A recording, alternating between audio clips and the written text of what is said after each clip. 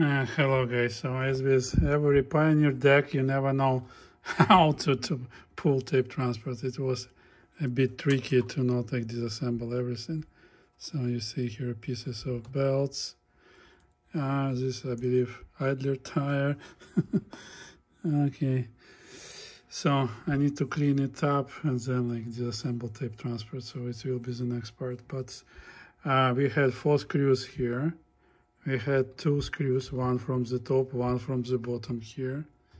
I had to remove this leg on the left side. And I was even thinking like if I will pull up this panel because it was so tricky to pull the tape transport.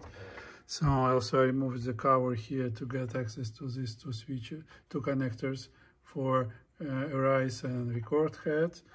And here we have a playback head right here. So luckily all connectors are color marked, so you wouldn't be able like, to mess them up.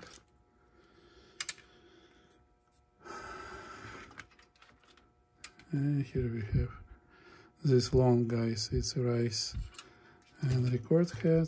I see like goo here, I need to clean it up already. And here's the playback head connector, it's separate, goes separately.